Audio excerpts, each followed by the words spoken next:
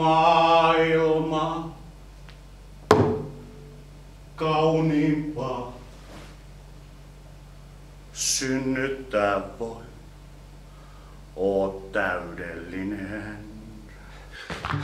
Niin, äläkä sitten yritä kusettaa, koska mä tunnen pari kaveria, jotka, jotka tuntee pari kaveria, jolla on tyttö tuolla idässä.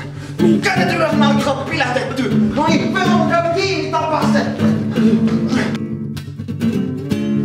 EU-parlamentaarikko! 13 nuorempana valtioneuvostoon valittu Esko Juhani Tapio Jaatinen. Bussi tulee ihan kohta. Voi vittu, kohta. Varmaan ehkä kolme minuuttia. musta tulee onkin semmonen, millainen musta on pienenä päätetty. Kato, kato, diagnoosi. Se pitää enää toteuttaa. Matkalla. Sitten hioa.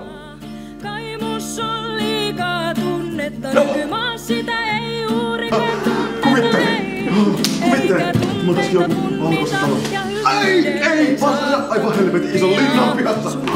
Tuossa on ilman. Istu ja pois. Tuossa. Emme tuossa yhtään. Mikä?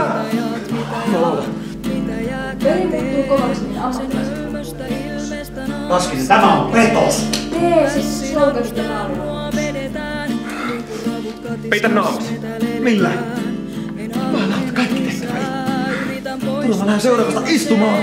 Kato, niin lähden minäkin. No niin, meet sinne sisälle. Karjastetaan ryöstö.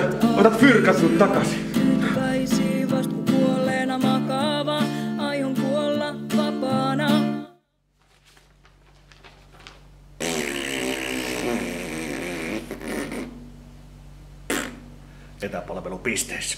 No, kiitoksia.